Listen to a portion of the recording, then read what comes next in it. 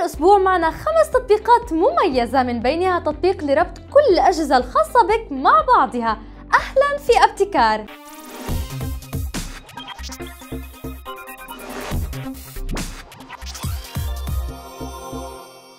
لديك هاتف، تابلت، لابتوب بالمنزل وكمبيوتر العمل.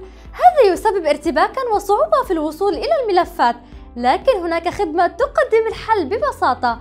يونيتي تطبيق يربط كل أجهزتك بالأجهزة المحمولة الخاصة بك للوصول إلى ملفاتك من أي مكان وأينما كنت سواء كانت أفلام، موسيقى، صور، مستندات أو حتى بث المحتوى إلى التلفاز.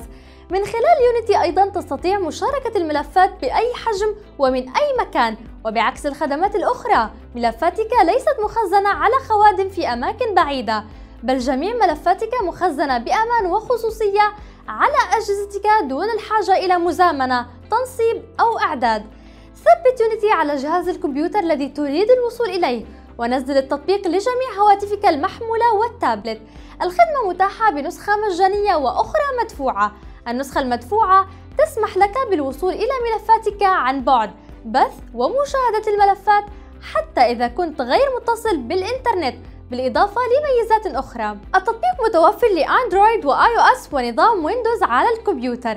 يونيتي تقدم عرضا لكل مشاهدي رقم TV. اضغط على الرابط أسفل الفيديو لتحصل على النسخة المدفوعة. بسعر مخفض وهكذا تصل لملفاتك من أي مكان. ثانيا Khan Academy منصة علمية للتعلم مجانا. التطبيق يحتوي على أكثر من 10000 فيديو في المجالات المختلفة مثل الرياضيات أو العلوم أو الفنون أو علوم الكمبيوتر وغيرها. يختار المتعلم المساق المفضل ويشاهد الفيديوهات التعليمية الخاصة به. وحل الامتحانات والأسئلة. ويمكن مشاهدة الفيديوهات عند عدم الاتصال بالإنترنت من خلال تحميلها مسبقاً. التطبيق مجاني بالكامل وهو متاح للأندرويد والآيفون و Windows Phone. ثالثاً تطبيق Alarmon. تطبيقات المنبهة كثيرة ومتشابهة. فكرة منبه التطبيق أن إيقاف صوت المنبه يتطلب إكمال مهمة محددة تحتاج للانتباه والتركيز حتى لا يعود للنوم مجددا.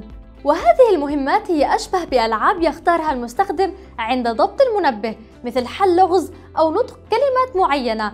وإذا لم يتم تنفيذ المطلوب يستمر المنبه بالرنين حتى نفاذ البطارية.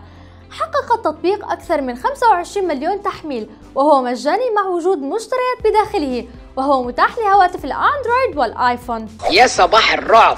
الساعة 6 وعلى المقيمين خارج مدينة الرعب المحافظة على فروق التوقيت. اصحى يا شلبي. رابعا تودويتس. تطبيق لتنظيم المهمات والمشاريع المختلفة وإعداد قوائم لحفظها والعودة إليها. يتميز التطبيق بمزامنة بين جميع أنواع الأجهزة سواء هاتف أو تابلت أو كمبيوتر أو حتى ساعة ذكية. مما يجعل متابعة وتعديل المهام والمشاريع سهلا ومتاحا في معظم الأوقات كما يوفر التطبيق إمكانية إضافة المواعيد المهمة ويتيح إمكانية مشاركة المهام مع أشخاص آخرين وتحديد مهام لهم وإضافة مهام فرعية للمهام الرئيسية ويوفر التطبيق رسوميات توضح مدى تحقيقك للمهمات ومدى تقدمك في المهمات الحالية. التطبيق مجاني مع مشتريات بداخله وهو متاح للأندرويد وال iOS و Windows Phone.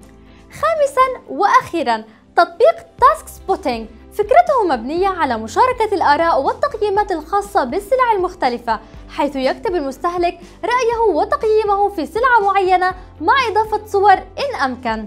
مع إضافة رأيه على سلعة أخرى قام مستخدم آخر بتقييمها أو حتى تقوم بعض الشركات بإرسال عينات للمستخدمين المميزين لإبداء آرائهم فيها وتقييمها. ويقوم التطبيق بمكافأة المستخدمين المميزين من خلال بطاقات شرائية بقيم مختلفة أو حتى بالمال. التطبيق مجاني وهو متاح لهواتف الأندرويد والآيفون. انتهينا من عرض تطبيقات هذا الأسبوع. الروابط أسفل الفيديو. انتظرونا الأربعاء القادم في حلقة جديدة. إلى اللقاء.